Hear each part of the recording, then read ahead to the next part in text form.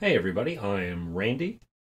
This is the Hitman 2 Gold Edition, and I'm playing on Xbox. In this video, we're going to do a Silent Assassin suit-only run for the special assignment A Silver Tongue in Miami.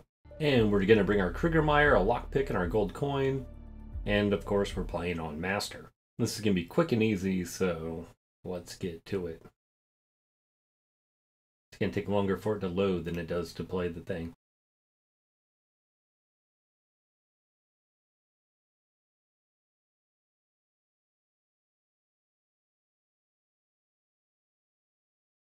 All right, so right away, right behind us, off to the right over here, we're going to lockpick our way through this door.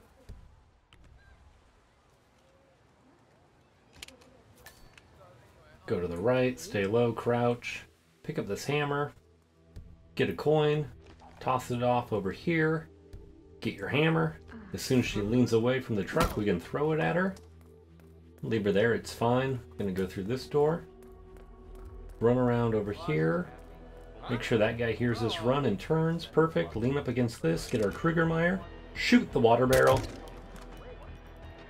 Get lined up on the uh, outlet there. Shoot that.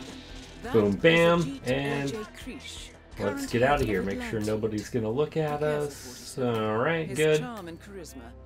And now just right back out the way we came. Somebody almost saw us. We got out of the I'm way. currently hacking into Krish's phone records. And seems we'll have made just several take a wide loop here, he out this door, located anywhere near there. and back to you as here's the as I know exit. more. There we are. is more to this Quick, dirty, super easy.